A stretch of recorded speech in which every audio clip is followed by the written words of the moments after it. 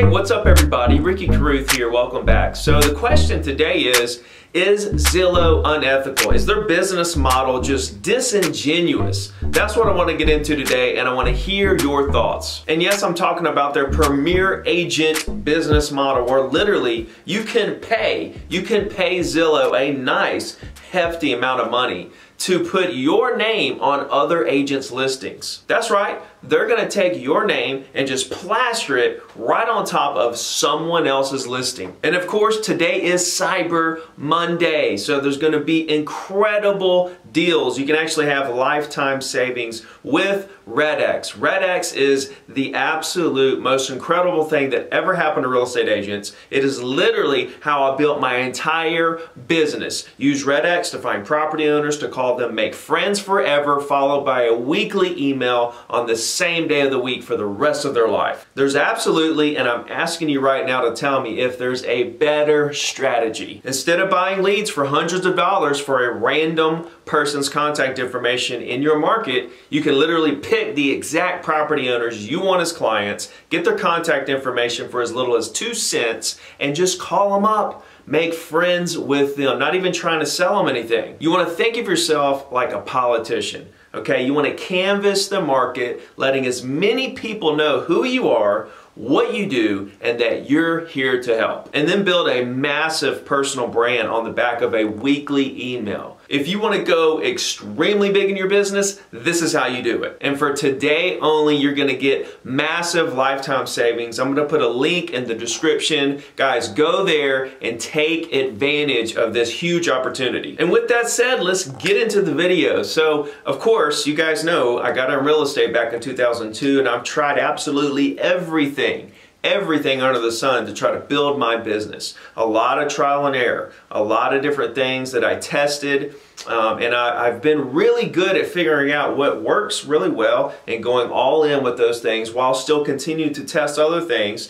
to see what else I can find that might work well to add to what is already working well. Okay, this is the kind of mindset you have to have if you're going to be one of those top 1% of 1 percenters out there. So of course, when Zillow came on the scene, I wanted to try it. I was probably one of the very first agents to try Zillow leads. So I jumped right on board. I think I got about a six month contract and uh, went pretty big with it because I wanted to see what this thing really did.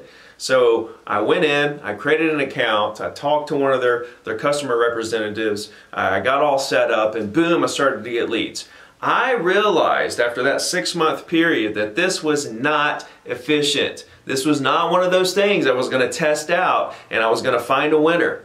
So I immediately canceled that account and got right back to what was really working, which was circle prospecting. Circle prospecting is using RedX to call property owners. If you want my circle prospecting script, I'm going to put a link in the description for that as well, since it is Cyber Monday, of course. So since I did that and I tested Zillow out and I realized, no, that's not the route I want to go, I've watched the entire industry evolve because when I jumped on board, this was back in 2011 or 12, something like that. Somewhere around in there, I believe, is, is maybe even earlier than that. Heck, it could have been, actually, no, I think it was more like 2008 or 9 when I tried this. I can't really remember the exact year, but it was when Zillow first came out. And since then, I've watched everything come together and I've sat back and I've watched these huge teams Okay, these huge teams, agents will go out and, and hire so many agents and then buy Zillow leads for an overly expensive price and then feed those horrible non-efficient leads to their buyer's agents or other agents on their team to get out there and work those leads and then split the commission with them. Now I'm a single agent so I'm a little biased on this subject of single agent versus team but when I look at the current uh, climate of how teams actually operate. Most teams, not talking about all teams, okay, there's always exceptions, but generally speaking, what you have is a team leader, they bring the, the buyer agent in, they feed you all these leads, and you think, great, I'm getting leads. But what you don't realize is that they're giving you the worst possible leads for the highest possible price, and the conversions are so low on these leads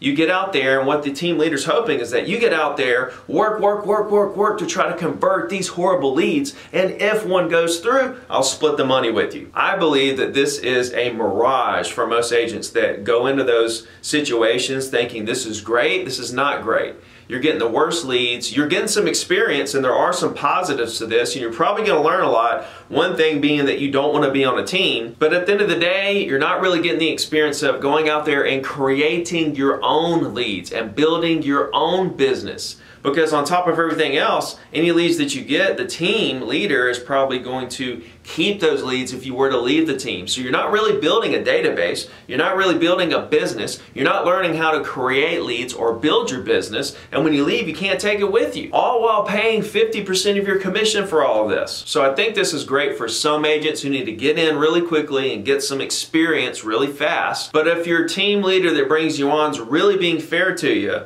they should tell you the truth, and that is, hey, this is good to start. This isn't what you need to do long term. Let's get you some experience and then let you step up into being your own agent, into being a single agent, into building your own business, into building your own database. The size of your database dictates the size of your income, guys. And if you don't own your database, you don't own your business. If you're thinking about joining a team or if you need help with anything to do with this subject or need any advice, just hit me up on Instagram. I'm still answering all my DMs and I'll be happy to help you. Now to the question of, is Zillow being unethical? Are they disingenuous?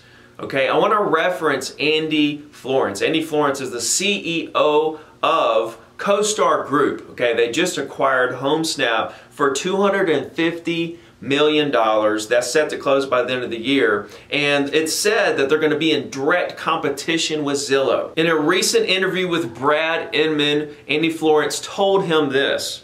The product Premier Agent does not resonate with me in any way, shape, or form the business model strikes me as wrong. So if I go back to the offline world and I'm a residential realtor and I'm excited that I've been selected to list a particular property and I put my sign in the front yard and I'm glad that that sign is there because it's going to help me sell this home for my for this family but also I'm very happy that signs out there because other people in the neighborhood will see that I'm active in the neighborhood.